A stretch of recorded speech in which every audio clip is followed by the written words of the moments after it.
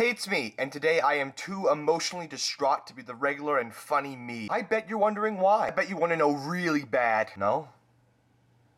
Okay. Well, I'm telling you anyway. The reason that I am so emotional right now is because of one show Game of Thrones. Much like the other shows that people have recommended me in the past, it took me three times to really get into Game of Thrones. The first time I watched it, I watched the second episode first. I don't know why. I don't even know how that happened. It just did. A couple weeks after that, I tried to watch the first episode and I couldn't get into it. Finally, I watched it a third time. Now, I wish I could punch George R. R. Martin in his throat. Why would I want to harm a chubby old man? Why?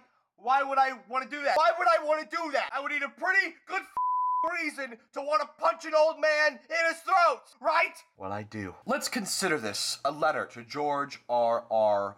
Martin. Dearest George R. R. Martin, I'm a fan of your series A Song of Ice and Fire and the TV show based on those books, Game of Thrones. I am writing you this letter to let you know a few things. I want to first thank you for creating such a beautiful universe full of beautiful things, aka the Tyrells. Thank you for restoring my faith in the fantasy genre. Thank you for making characters who aren't prominently good or prominently bad. Thank you for showing me that I can't rely on my words or promises of gold or sapphires to save my ass and the asses of others. Thank you for teaching me to never trust anyone, not even my own mother. Finally, thank you for teaching me that no one is safe, not even the ones I love. Kill one Stark, shame on me. Kill two Starks, shame on me for trusting that you wouldn't do it again. Kill three Starks, and now I will never trust you again, you selfish piece of shit.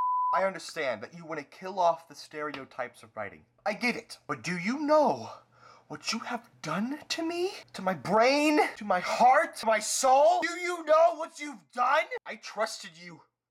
And you spat in my face. I swear to God. If anything happens to Arya Stark or Tyrion Lannister, I will find you. I will hug you. And right before I pull away, I will whisper in your ear,